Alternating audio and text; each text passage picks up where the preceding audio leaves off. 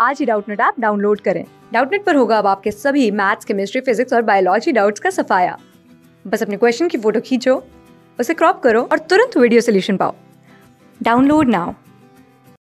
Question is mark the odd word in each group देखो बच्चों, हमसे क्या बोला गया हमें मार्क करना है जो भी ऑड वर्ड है इस ग्रुप में। और ग्रुप में हमें कौन कौन से वर्ड दे रखे RBC WBC and platelets and cartilage देखो, अब यहाँ पे देखो क्या क्या दे रखा है हमें? एक तो आरबीसी दे रखा है, ठीक है?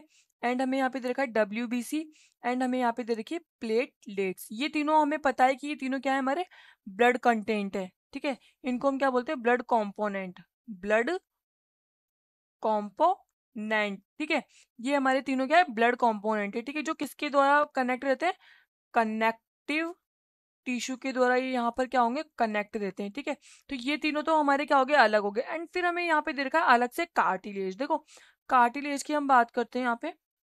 कार्टिलेज ठीक है? कार्टिलेज हमारा क्या होता है? एक स्पेशलाइज्ड कनेक्टिव टिश्यू होता है। बट जो आरबीसी और डब्ल्यूबीसी हमारे, ये तीनों एक ही चीज़ में प्रेजेंट होते हैं। बट कार्टिलेज हमारा अलग से होता है और ये हमारा स्पेशियल प्रकार का स्पेशियल ये क्या होता है? हमारा कनेक्टिव टिश्यू होता है, ठीक है?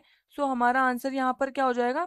कार्टिलेज इज़ द इनकरेक्ट यहाँ पे जो ऑड वर्ड है वो क्या हो जाएगा? कार्टिलेज क्योंकि कनेक्टिव टिश्यू तो ये सारे होते हैं। बट जो हमारे ब्लड कॉम्पोनेंट होते हैं वो हमारे आरबीसी डब्ल्यूबीसी और प्लेटलेट्स होते हैं, ठीक है? ये जो हमारा कार्टिलेज है, वो हमारा ब्लड कॉम्पोनेंट नहीं है सो हमारा ऑड वर्ड जो हमारा हो जाएगा, वो हो जाएगा कार्टिलेज क्लास सिक्स से ट्वेल्थ से लेके NEET I I T JEE mains और एडवांस के लेवल तक। दस मिलियन से ज़्यादा स्टूडेंट्स का भरोसा। आज ही डाउनलोड करें डाउट नेट आप या व्हाट्सअप कीजिए अपने डाउट्स आठ चार सौ चार सौ चार सौ पर।